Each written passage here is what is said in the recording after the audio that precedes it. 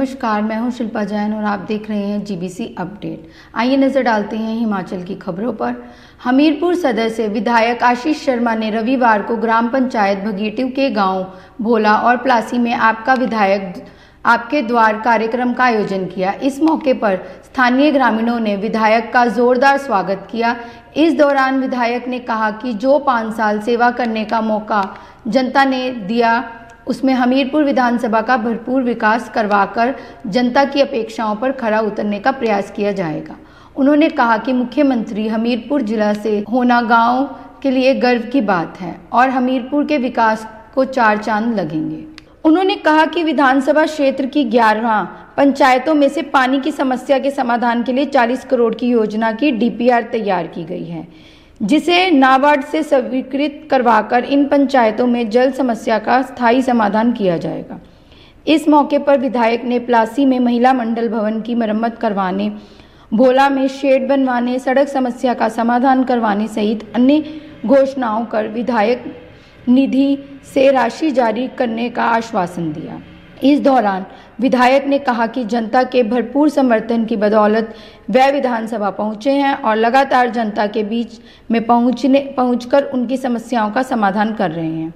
उन्होंने कहा कि गांव-गांव जाकर कार्यक्रम आयोजित करने के पीछे का मकसद हर फरियादी तक पहुंचकर उनकी समस्या सुनना व समाधान करना है, ताकि जनता और विधायक के बीच कोई दूरी ना हो।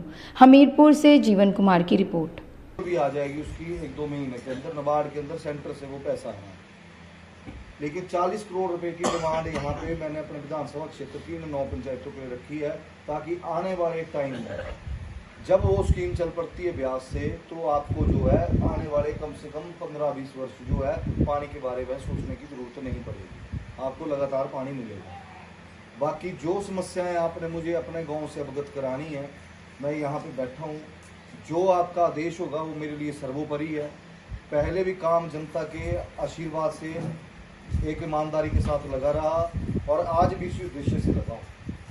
मैंने चुनावों से पहले भी ये बात बोली थी कि ना तो मैं पेंशन या तनख्वाह के लिए चला हूँ।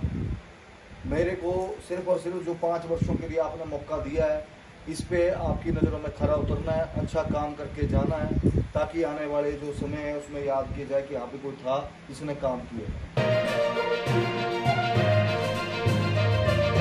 राज्यपाल शिव प्रताप शुक्ल ने शिमला के ऐतिहासिक कालीबाड़ी हॉल में अखिल भारतीय कलाकार संघ द्वारा आयोजित ठाठवीं वार्षिक अखिल भारतीय नाटक एवं नृत्य प्रतियोगिता का समापन समारोह की अध्यक्षता करते हुए कहा कि समाज निर्माण में कला एवं कलाकार की महत्वपूर्ण भूमिका होती है।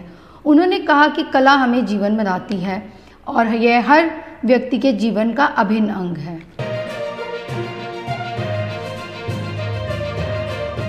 जिला चंबल के उपमंडल सलूनी की भांदल पंचायत में युवक की तेज धार हथियार से हत्या कर दी गई, जिसका कटा हुआ शव बोरी में डालकर नाले में पत्थरों के बीच छुपा दिया गया, जिसे पुलिस ने शत विक्षत हालत में युवक का शव नाले से बरामद किया।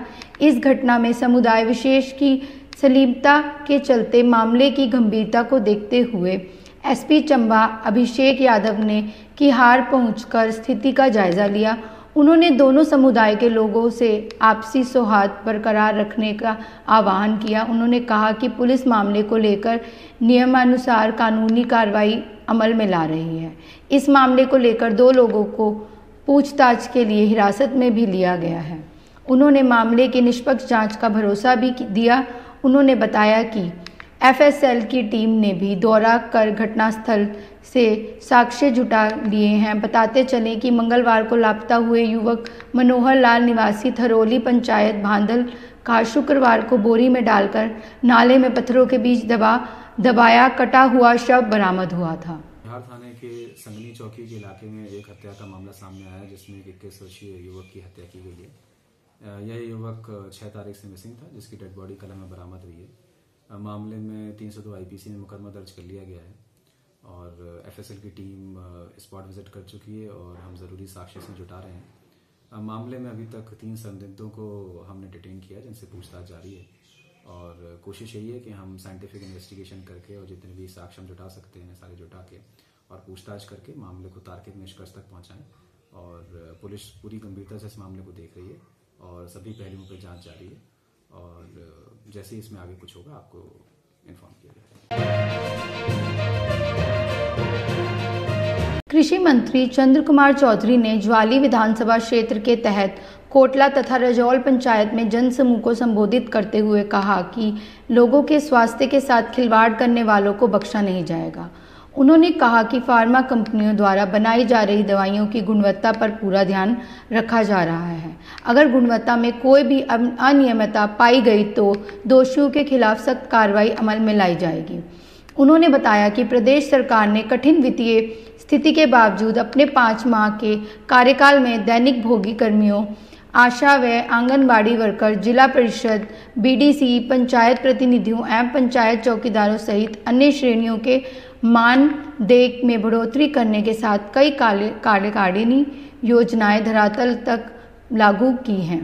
उन्होंने कहा कि प्रदेश सरकार ने चुनाव से पहले 10 गारंटियों के माध्यम से आजमन और आश्वासन किया कि कांग्रेस पार्टी की सरकार पूरी ईमानदारी और लगन से जन जन के विकास व कल्याण में विश्वास रखती है।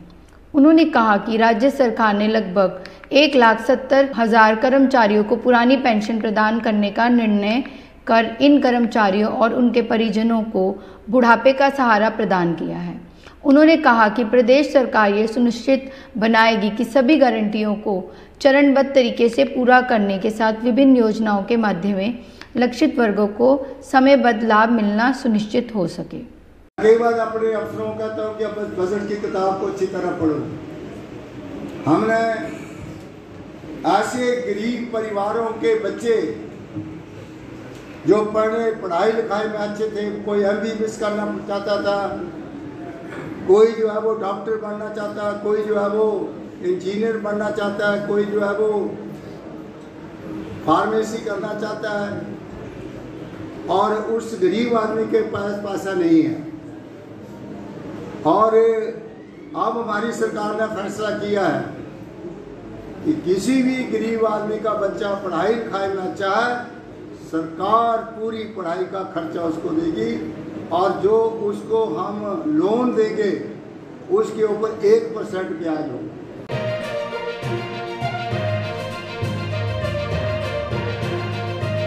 स्पीति में तांबे में ट्रेडिशनल योगा फाउंडेशन की ओर से आयोजित पारंपरिक योग के मौन ध्यान रिट्रीट से पहले शिविर का समापन हुआ।